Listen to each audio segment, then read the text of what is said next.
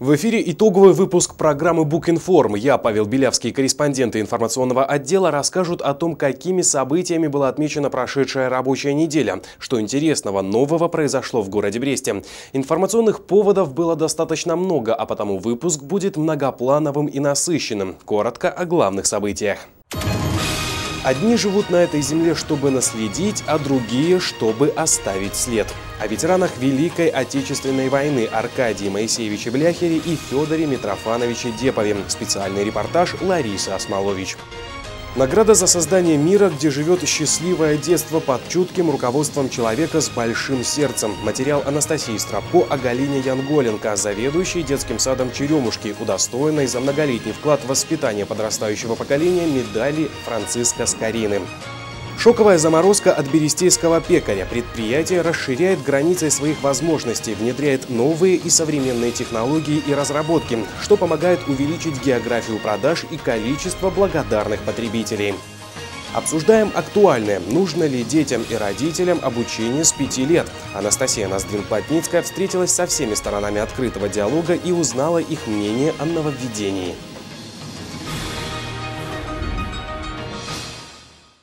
Прямо сейчас об этом и не только. О мудрости, о доброте, о богатом жизненном опыте человека, прошедшего через горнило Великой Отечественной войны. Человека, жизнь которого – пример верного служения делу, людям и своей стране.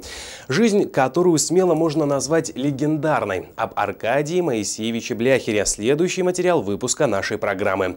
19 января Аркадий Моисеевич отпраздновал свой 94-й день рождения. И, как всегда, в этот день поздравить его со столь знаменательной датой пришли друзья, коллеги по Перу, ученики и последователи.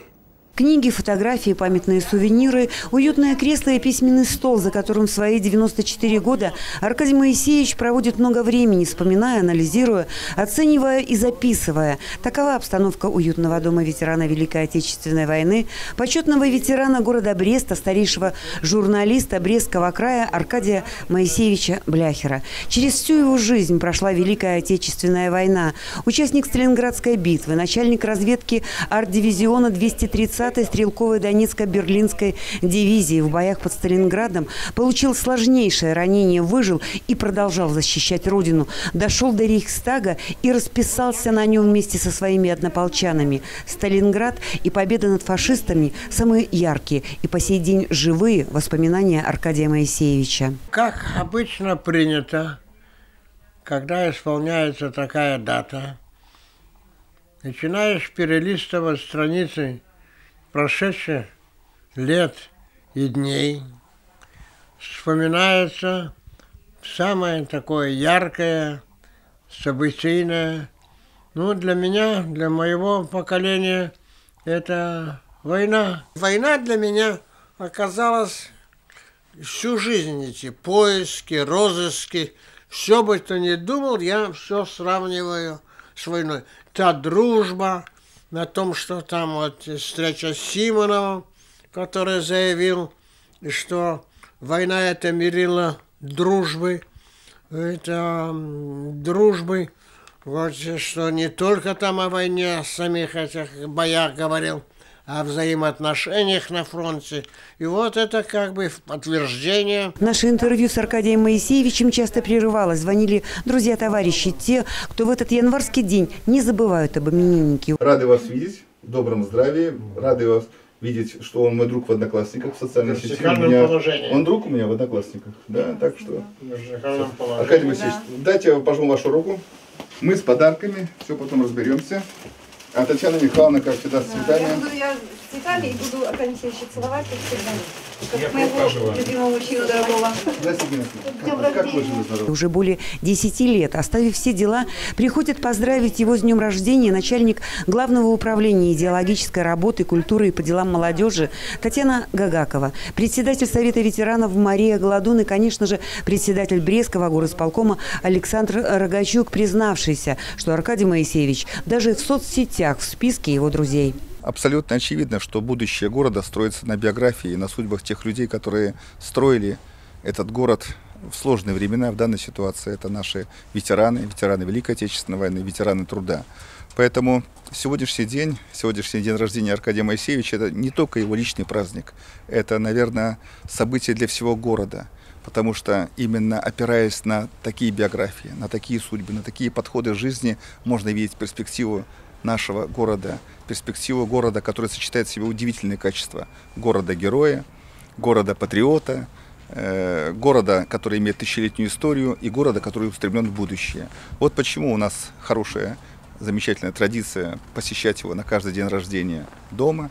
Я очень надеюсь, что эта традиция впереди еще не один год – и уверен, что опираясь на таких людей, как Аркадий Моисеевич, опираясь на их взгляды на жизнь даже сейчас в этом уже в относительно зрелом возрасте, да, э, можно видеть и нам, как управленцам, перспективу более глубокую, более далекую, что же делать сейчас, какие решения принимать именно сейчас. Поэтому замечательный повод, замечательный день, и дай Бог ему здоровья. Цветы, подарки. Приятно знать, что о тебе помнят. Но самое важное для Аркадия Моисеевича – общение. Он в курсе всех событий, происходящих в городе и области. Но услышать, что волнует, за что ратуют сегодняшние руководители, какие у них планы, имениннику весьма важно. Это его подпитка. Ведь он журналист и по сей день, по духу, по призванию. Высшее наказание невозможно списать. Одно из условий долголетия, когда работает мозг – вот. И вот я, так сказать, сам на себе это испытал. Не зря я вспомнил все эти травмы и, так, и там и другие хворобы и так далее. И достигнуть такого возраста я, по сути дела, рекорд поставил. Среди журналистов я самый старший, среди однополчан вот последний оказался. Самый живой. Да, стремление что-то сделать полезное, вот это вот меня стимулирует все, к жизни. Все правда? время сопутствует мне в жизни. Аркадий Моисеевич Бляхер – человек широкой души. Творческий и многогранный, легкий и интересный. Через многое прошел. Но часы испытаний закалили, но не придали жестокости. Стал тверже, но не злее. Бытует мнение, что в столь зрелом возрасте следует подводить определенную черту под годами жизни. Это как бы является своеобразным мостом между завтра и вчера. Аркадий Моисеевич никакой черты не подводит, считая, что жизнь продолжается. 90-летний юбилей отпраздновал 15 января еще один брещанин, ветеран Великой Отечественной войны Федор Митрофанович Депов. На протяжении долгих лет своей славной жизни Федор Митрофанович отличался упорным трудом, преданностью делу, активной жизненной позицией, трепетным вниманием к жизни Бреста и большим желанием служить людям. В знатный юбилей он принимал поздравления за боевой и трудовой подвиг, достоинство и благородство от представителей городской вертикали власти, от боевых товарищей, членов Комитета ветеранов Великой Отечественной войны. Насколько все-таки эта жизнь, которую вы прожили, вот этот достаточно внушительный отрезок времени, 90 лет, он был для вас и сложным, э, и порой трагичным, напряженным, и в то же время наверняка радостным и замечательным. Читая внимательно ваш трудовой путь, я обратил внимание на то, что большей части вы посвятили свою жизнь трудовую защите нашего Отечества. Федор Митрофанович прошел суровую школу армейской службы на полях сражений в годы Великой Отечественной войны. В 16 Федор Депов стал партизаном в качестве рядового группы, затем отряда 17-й бригады Могилевской области. За этими скупыми фразами жизнь человека, гражданина, патриота. Прошли Смоленскую область с Могилевщины, в Гомельской области ходили на проне на реке стояли. Потом в октябре 43 -го года соединились с советской армией на реке Сож, когда это было Курская, с Курской дуги наступали наши. Фронт остановился как раз на нашей территории, ну, скажем, на моей родной деревне, где я родился, и простоял 9 месяцев. От деревни ничего не осталось. Всю свою жизнь он накрепко связал с армией. Стал курсантом 39-го учебного стрелкового полка, затем курсантом 540-й артиллерийской бригады, а с послевоенного 46-го командиром орудия армейского истребительного противотанкового артиллерийского полка, старшиной батареи. В Бресте его служба началась в 1957 году. Старшина в отставке Депов награжден орденом Отечественной войны второй степени и семью медалями медалями. Одна из них за боевые заслуги. Самое важное в жизни – это семейное отношение, отношения в семье. Если они будут хорошими, крепкими, жизнь сложится хорошего. А если плохие, об этом говорить не надо. А в чем тогда секрет семейного успеха, семейного долголетия? Чтобы друг друга понимали. Жена понимала мужа, муж понимал жену, чтобы все было обоюдно. А так, если один в лес, другой по дрова, то не получится. И сегодня Федор Митрофанович Депов находится на передовом рубеже, является своеобразным золотым фондом патриотического воспитания нашей молодежи. Он активен, бодр и счастлив, ведь рядом с ним его супруга, его дети, внуки и правнуки. Лариса Осмолович, Андрей Щерба, Дмитрий Лазарчук специально для итоговой программы. В следующем материале выпуска речь пойдет о Галине Янголенко. Многие брещане знают о ней не понаслышке. Уже три десятилетия она возглавляет одно из дошкольных учреждений областного центра Брещины – Ясли-сад номер 69, который больше известен под своим вторым, к слову, тоже официально признанным названием – Черемушки. В конце 2016-го многолетний вклад Галины Андреевны в воспитание подрастающего поколения был отмечен медалью Франциска Скорины. Она стала четвертым четвертым жителем Бреста, представителем системы образования, удостоенным такой высокой награды. Наш корреспондент Анастасия Страбко решила узнать о секретах успеха из первых уст. Подробности в следующем материале выпуска. Галину Янголенко наша съемочная группа застала за работой, а как иначе, четкое функционирование, пусть и единого, но очень подвижного организма под названием «Ясли сад черемушки» требует постоянного внимания и заботы, а еще любви. К слову, именно это чувство по отношению к детям, к работе и жизни в целом считает главным секретом успеха Галина Андреевна. Это живой организм, и тут живет детская душа. И тут живет добро, тут живет сказка, тут живет радость. Тут работает хороший коллектив, люди, любящие детей. Сюда приходят те, кто нам их доверяет. А мы стараемся оправдать их надежды. Потому черемушки, ну, это родной дом. Это дом для детей. О своих наградах почетное место, среди которых заняла медаль Франциска Скорына, Галина Андреевна много не говорит. Признается, внимание приятно, однако вместе с тем это большая ответственность. Конечно, это очень ответственность большая. Ну и эта награда не моя, это награда всего коллектива, это награда всех тех, кому я обязана за э, науку, за практический жизненный опыт. Своей маме, педагогу с 40-летним стажем в одной деревенской школе. Было очень волнительно, ну и, конечно, радостно было, потому как это великая награда. Эта э, награда обязывает. Теперь мы вообще не имеем права ничего плохо делать, об этом мы уже обсудили в коллективе. Когда я приехала, меня поздравили, что братцы, плохо работать не имеем права. Сегодня в Большом доме Черемушки более 230 мальчиков и девочек. Укомплектовано 11 групп. Всех своих воспитанников Галина Андреевна знает не только поименно. Особенности характера, семейные истории в деле воспитания, уверенно, опытный педагог и руководитель мелочей не бывает. Дети, к слову, на такое доброе и внимательное к себе отношение отвечают старицей. Вы любите ходить в детский сад? Да. Почему? Потому что мы любим в нем играть. Кто такая Галина Андреевна? Это заведующая. А она какая? Добрая. Любит очень детей. Они добрые, хорошие. За заботятся о, о детях. Солидарны с мнением юных брещан и жители областного центра постарше, коллеги Галины Андреевны, а также родители ее воспитанников. В работе добрым, как всем же не будешь, так ведь? И она, как я уже говорила ранее, что она очень справедливый человек. Она где-то вот нас и поругает, где-то пожалеет, и где-то что-то подскажет, где-то куда-то направит. Мой ребенок ходит с удовольствием в сад.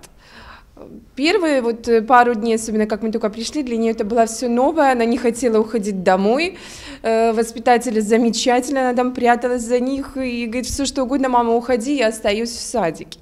В принципе, мы не нарадуемся, нам очень нравится здесь. Э, воспитатели хорошие, заведующие наши замечательно, относятся, ну, хорошо к деткам, переживают за деток, волнуются устраивает все. К слову, в мае 2017 года Черемушки отметят 30-летие с момента закладки первого кирпича в основание здания. Это особенный день и для всего сада, и для его бессменного руководителя. Галина Андреевна принимала участие в процессе строительства, занималась обустройством большого и уютного дома для малышей. Прошло не одно десятилетие, но процесс этот создания мира, где живет счастливое детство, не прекращается и по сей день под чутким руководством человека с большим сердцем. Анастасия Стропко, Григорий Пикар, Карский, Дмитрий Лазарчук специально для итоговой программы. Вы смотрите итоговый выпуск новостей на канале Бук ТВ. Продолжаем разговор на актуальные темы. Люди героической профессии, люди, на счету которых тысячи боевых выездов, оказание всесторонней помощи жителям на этой неделе отметили праздник – День спасателя. В МЧС служат те, для кого любые сложности по плечу. Брестские огнеборцы тому пример. Хорошие показатели года ушедшего не дают усомниться в этом. О том, какие они, брестские МЧСовцы, расскажет наш корреспондент София Бережная. Они смелые и быстрые. Они пожар тушат. А как они это делают? Огнетушителем. А если большой пожар? Тогда они пользуются шлангом. У папы есть пожарная машина. Я видела очень много раз пожарных, когда ездила в садик. Они знают, что огонь тушит из пожарного рукава, что игры со спичками приводят к печальному финалу. Многие из ребят даже мечтают стать спасателями. Они могут только догадываться о том, с чем приходится сталкиваться огнеборцам, будучи на посту. Профессия спасателя требует полного контроля над ситуацией. Нелепая случайность, неосторожность людей, возгорание сезонного характера с последствиями такими. И не только сталкиваться им приходится регулярно. Решать задачи разных уровней сложности для брестских спасателей – привычное дело дело. Эффективность работы зависит от их профессионализма. Ряды брестских огнеборцев ежегодно пополняются новыми кадрами, и им есть на кого равняться. За 20 лет все было. Работа впечатляет. Она каждый день что-то новое. Вызов за вызовом. Вызовы не повторяются, они все разные. Надо подготовиться, надо. Мы все подготовленные, все выезжаем, знаем, что уже делать. Моя профессия для меня это то, чему я посвятил чуть более 15 лет. Отдельными кадрами в памяти у меня отразились это обучение в высшем учебном заведении начальном и, конечно, обучение в Московской академии которая дала мне определенный набор знаний, которыми я до сих пор еще пользуюсь. Какой бы надежной ни была техника, человеческий фактор играет первостепенную роль, когда на счету каждая минута выбирать не приходится. Здесь важно грамотно действовать. 24 часа в сутки они должны быть готовы к любым сообщениям. Вариантов обращения множество, об этой стороны любой крик о помощи не представляется возможным. Река Лесная, район Стармечева, подводный охотник обнаружил на дне реки Лесной э, сосуды с ртутью. И один из них оказался поврежден, и ртуть разлилась прямо на грунт, на дно реки. Ну, пришлось в водолазном снаряжении осуществлять спуск и сбор ртути под водой. И даже такие случаи полностью не отображают, насколько широк спектр деятельности людей, выбравших эту профессию. Они приходят на помощь по первому зову и всегда доводят дело до конца.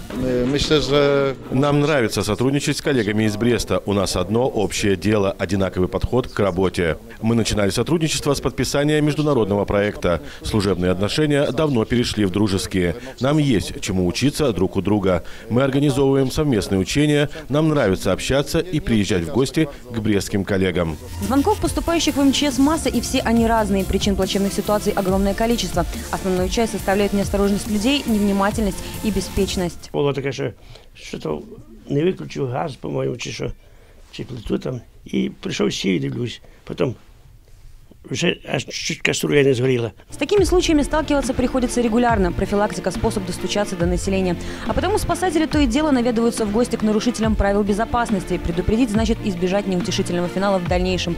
Работа сотрудников МЧС многогранна и непроста, но оттого и привлекательна для тех, кто не боится трудностей, кто способен рисковать во благо других, кто способен на сочувствие и оказание помощи и делом, и словом. Результаты ушедшего года подтвердили, каждый сотрудник МЧС – это профессионал своего дела. Человек, который готов порой в тяжелом тяжелейших условиях выполнять свой служебный долг, оказать помощь людям, попавшим в беду. Бок о бок вместе со спасателями в самых сложных ситуациях работали и сотрудники правоохранительных органов, и медики, и представители власти, и волонтеры. Слаженная работа и грамотный подход к решению задач позволили сохранить в городе стабильную обстановку. Спасатели Брестского городского отдела в 2016 году принимали участие в тушении 86 пожаров. Спасено, спасен 21 человек. Это говорит о многом. Это говорит о профессионализме, о мастерстве работников городского отдела. Я уверен, что в любой ситуации спасатель отдела придет на помощь, независимо от того, какая сложилась обстановка, но он протянет руку помощи. Спасателями принято считать тех, кто достойно несет службу, выполняя долг, кто предан профессии и полностью отдается ей. Они заслуживают уважения, их труд достоин высокой оценки. София Бережная, Эдуард Букунович, Дмитрий Лазарчук специально для итоговой программы. Модернизация производственного процесса – то, без чего сегодня сложно представить успешное функционирование предприятий. Время не стоит на месте, стимулируя и ускоряя изменения. Очень важно идти с ним в ногу. Понимают это и специалисты открытого акционерного общества «Берестейский пекарь», а потому, несмотря на уже имеющиеся успехи, на достигнутом не останавливаются. Постоянно расширяют границы своих возможностей, внедряют новые и современные технологии и разработки что, в свою очередь, помогает увеличить географию продаж и количество благодарных потребителей. К примеру, не так давно здесь освоили технологию шоковой заморозки хлебобулочных изделий. Технология шоковой заморозки хлебобулочных изделий в историческом контексте не нова. Первые попытки продлить срок хранения хлеба или батонов с булочками без ущерба их качеству появились еще в 30-х годах прошлого века. Однако серьезное распространение процесс получил ближе к его концу. Сегодня же в Европе или, к примеру, Канаде замороженный хлеб занимает порядка 80-90% рынка. Замороженный хлеб далеко не новинка. Вот и берестейский пекарь, идя в ногу со временем, установила на предприятии камеру шоковой заморозки с температурным режимом минус 35 градусов. С ее помощью температура мякиша понижается до минус 18, менее чем за 3 часа, при этом сохраняя все свойства хлеба неизменными – Технология шоковой заморозки обеспечивает сохранность качества свежего продукта. Само понятие «замороженный хлеб» обывателя пугать не должно. В непосредственно замороженном состоянии он находится только в период транспортировки или хранения. Перед продажей проводится процесс дефростации, разморозки. Дефростация хлеба либо хлебобулочных изделий может происходить тремя способами. В естественных условиях, в районе 4 часов при температуре 18 окружающей среды, в печках ну, в духовых шкафах и в микроволновых печах, всем привычных для нас. Три вида разморозки. К слову, ни на вкусовых, ни на каких-либо иных свойствах продукта негативно шоковая заморозка не сказывается. Скорее наоборот, это дает возможность существенно увеличить сроки реализации без использования консервантов. Освоенная пекарем технология позволит существенно расширить географию экспорта. Первые пробные партии замороженной хлебобулочной продукции уже отправлены в США. 30-40 тонн ежемесячно уезжают в Российскую Федерацию. В активной фазе проработки, к примеру, Китай и Израиль замораживают продукцию в настоящее время на трех заводах пекаря. У нас сегодня три филиала работают э, вот э, по такой технологии шоковой заморозки. Брест, Барановичи и Пинск. То есть первоначально, скажем так, это у себя применили Барановичи, а уже впоследствии ну, опробировали, увидели, что перспективно, и уже взяли и Брест, и Пинск. Шоковая заморозка хлебобулочных изделий сегодня для Беларуси понятие новое. Однако специалисты убеждены, пройдет несколько лет, и многие торговые объекты придут к тому, что работать с такой продукцией гораздо проще и выгоднее, чем держать свою мини-пекарню. Ведь после разморозки в специальной печи такой хлеб ничем не отличается от только что испеченного, а процесс занимает гораздо меньше времени и не требует серьезных затрат. А сейчас о других событиях и мероприятиях. Очередное нововведение всколыхнуло белорусскую общественность в конце прошлой недели. На сайте издания СБ «Беларусь сегодня» была опубликована информация о том, какие изменения Министерство образования планирует внести в новую редакцию Кодекса об образовании. Среди них факультативные занятия в шестой школьный день смогут проводиться не только для старшеклассников, но и для учащихся среднего звена, пятых-восьмых классов. Увеличится комплектация информация. Вместо положенных 25 теперь на уроках будет присутствовать на усмотрение администрации до 30 человек. Планируется сократить и количество видов учреждений образования. Но самое главное, теперь первоклассником сможет стать и пятилетний малыш. Именно этот вопрос вызвал большое количество обсуждений. Наш корреспондент Анастасия Ноздрин-Плотницкая встретилась со всеми сторонами открытого диалога и узнала их мнение о нововведении. Мы читаем по столбикам слова. Мы учим новые буквы. Вот. Ну, и нам тоже надо слушать много учителя. Уже в своем юном возрасте маленькая Полина знает, секрет успеха – это хорошая учеба. Как и ее одноклассники, она с удовольствием ходит в школу, каждый день пополняя свой багаж новыми знаниями. В основном в первых классах учебных заведений – шестилетки. Те, кому за время учебного года исполнится семь. Они уже не такие маленькие, однако их детский мир еще не совсем настроен на то, чтобы 45 минут усердно слушать педагога, держать особое внимание. Тут-то учителям и приходится идти на психологические хитрости. Наглядного материала очень много, занимательного познавательного, наглядного материала, иначе дети просто не будут слушать. Вот. И вообще дети, конечно, 6 лет и 7 очень отличаются уже. Они приходят во второй класс, они уже совершенно другие.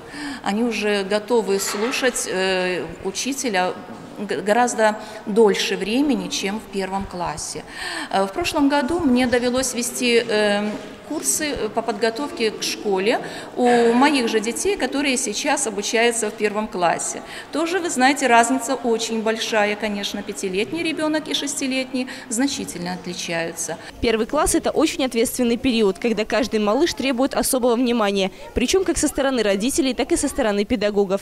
Для того, чтобы ребенок был адаптирован к школьным реалиям, многие мамы и папы стараются перед поступлением в первый класс отдать его на курсы подготовки. Центр дополнительного образования детей и молодежи в этом случае предлагает целую комплексную программу, рассчитанную на один или два года. Дети 5 и 6 лет серьезно отличаются между собой, говорят специалисты учреждения, и каждой группе нужен свой особый подход. Ребенок 5-6 лет, он в принципе сейчас нуждается в очень, такой, э, в очень таком грамотном сопровождении в плане развития. Почему? Потому что скоро он станет школьником, и этот ребенок должен уметь очень много. И в первую очередь, ну, не, как многие считают, не знать буквы и читать, э, счет и так далее, а именно уметь учиться. У него должны быть развиты определенные э, навыки и умения в плане физическом, психологической готовности. Но у нас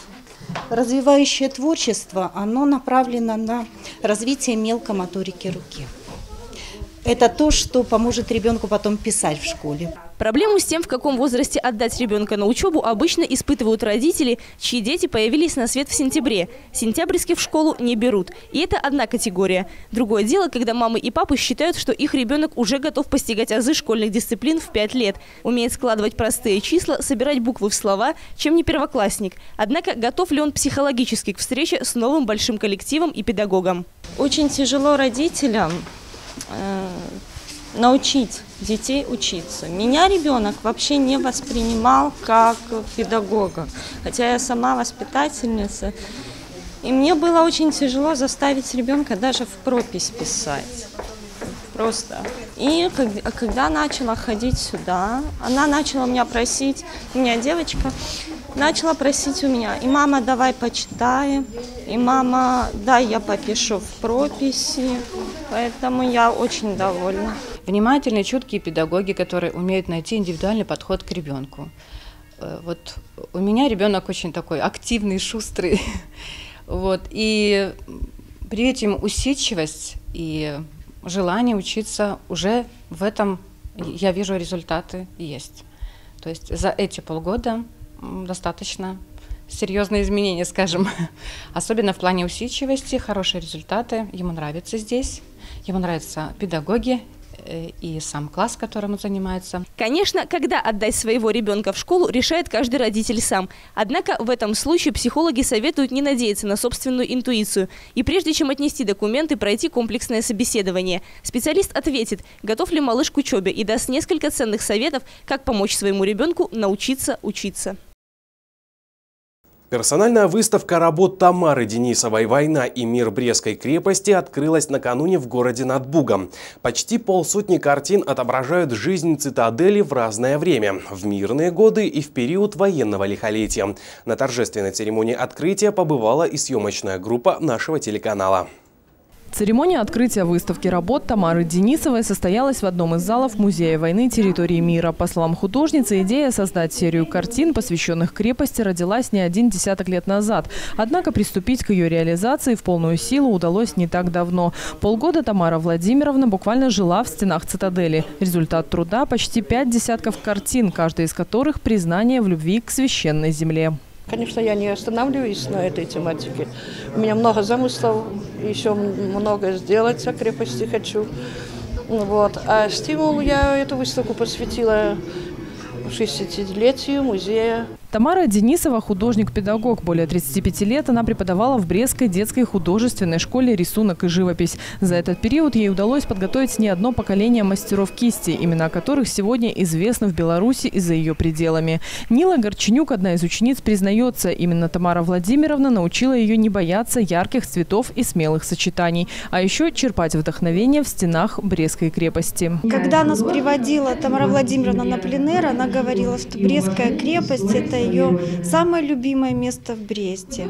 И э, когда крепость красивая, летняя, зеленая, вот мы ее рисовали, увековечивали. Тамара Владимировна именно э, преподаватель э, пленера. Она живописец, который нас научил ярким краскам. Участники церемонии открытия отмечали, несмотря на военную тему, которую выбрала Тамара Владимировна, ее работы нельзя назвать тяжелыми или нагнетающими страх и ужас. Скорее наоборот, они излучают свет и дают надежду на будущее, вопреки любым, даже самым сложным обстоятельствам. Меня потрясло само содержание, то есть как бы выставка сделана в крепости, то есть в этих вот казематах, и она посвящена крепости, и она настолько вот не давит, как, потому что обычно, ну, когда слишком много войны, ну, тоже как бы тяжеловато воспринимать. А тут у него все-таки картины посвящены как бы теме Брестской крепости, но они такие светлые, вот чистые. Очень светлая выставка хорошая, мне понравилась, и она, конечно.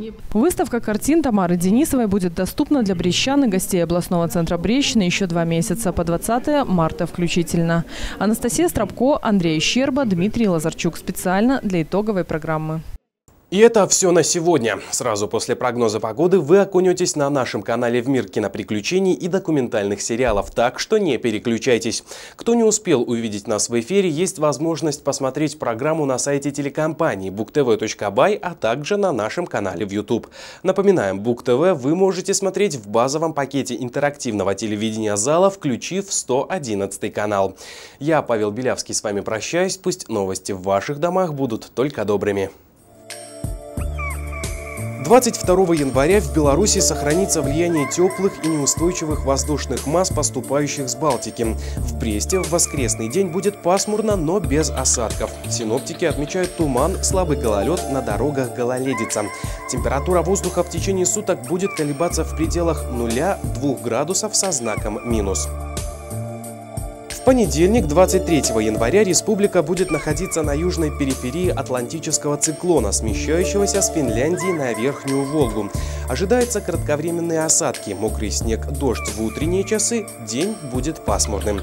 Туман, слабый гололед на дорогах, гололедица – таков прогноз синоптиков. Температура воздуха минимальная ночью составит минус 1-3 градуса, максимальная днем 2 градуса ниже нуля.